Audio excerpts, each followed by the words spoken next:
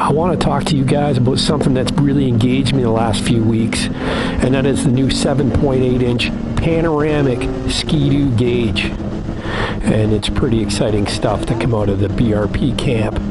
Yeah, you guys all know that I rarely go anywhere without running my map app and having my cell phone mounted to the dash of my sled. And Ski-Doo's taken that one step further.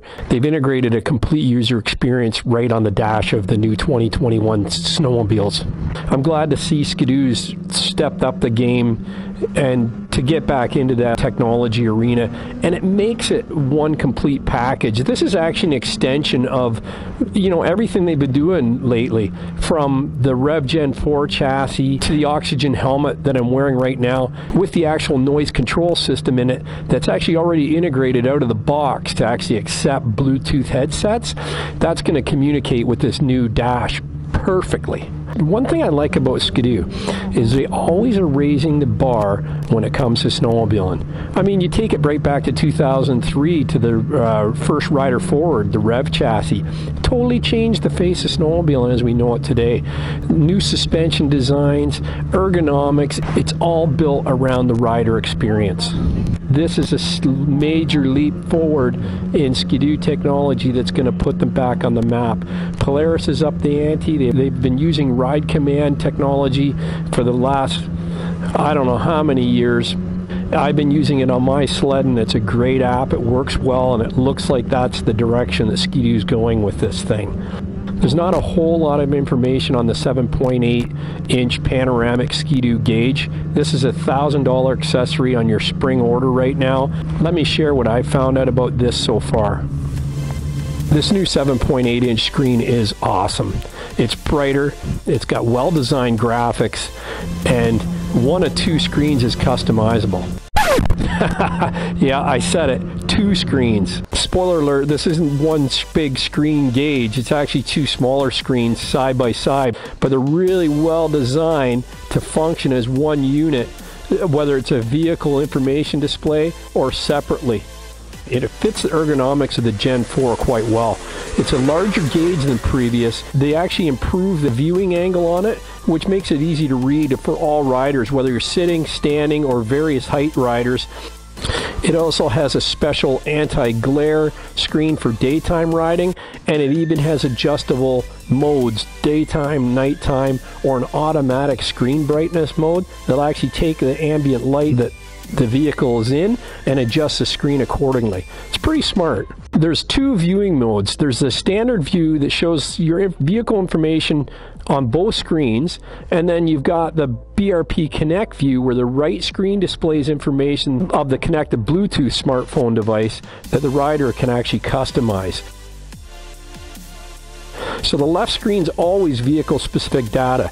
You have speed, fuel level, engine and air temperature, the right screen, you can display vehicle information such as RPM, trip statistics, gauge setup, and even run fault codes now right from your dash. There's going to be a few smartphone apps coming out for this that you can run in what they call the BRP Connect mode.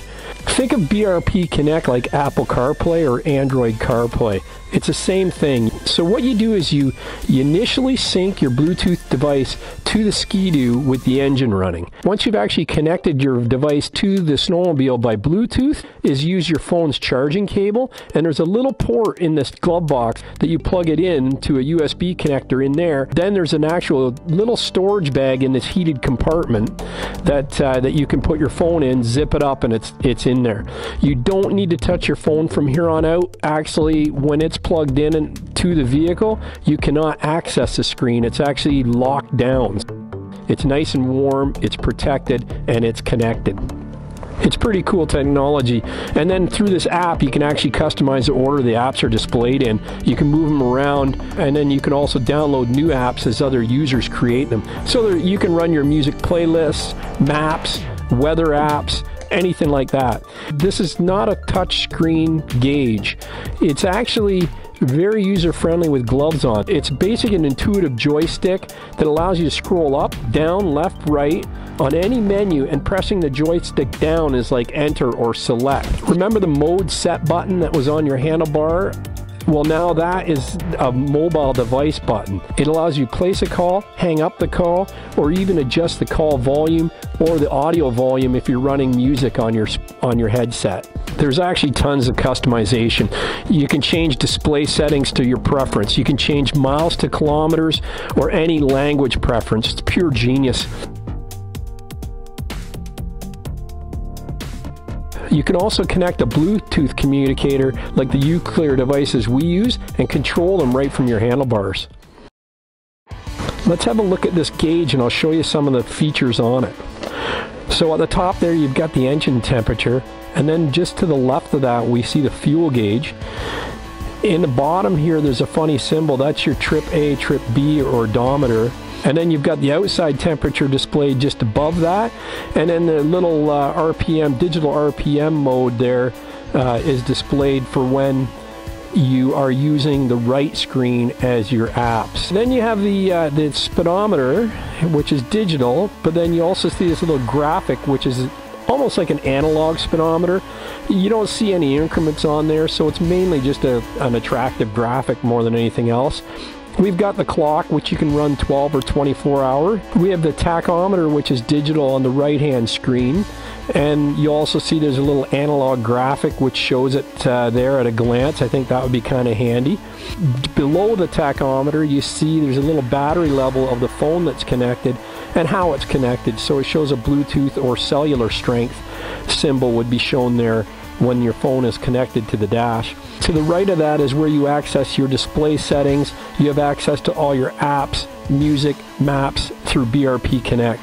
The new map system, you can use the Rever app or the new Ski-Doo Go map when it comes out. Now that looks really cool. It looks like it's going to be like Ride Command, where it's going to allow you to track your ride. It also allow you to show other riders do a group ride on the map download offline maps you don't need a, a, cellular connection to run the GPS. And the BRP demos that I've watched indicate that we'll have turn by turn directions as well, but we'll see about that one. Because it's a smartphone app, I can actually run Ski-Doo Go from my iPhone on this dash mount phone holder that I rigged up. And if you have one of the original Rev Gen 4s, you can rig up a mount like mine or you can buy a glove box extension with this new door accessory that Ski-Doo is launching this fall that actually has an integrated phone holder on it. I think it would be a handy thing just for connecting the rider to the experience. And I think that's what BRP's really done here with this gauge. They're actually taking the rider experience and elevating it to that next level. I, am really happy with this new 7.8 inch panoramic gauge. Can't wait to see it on the trails.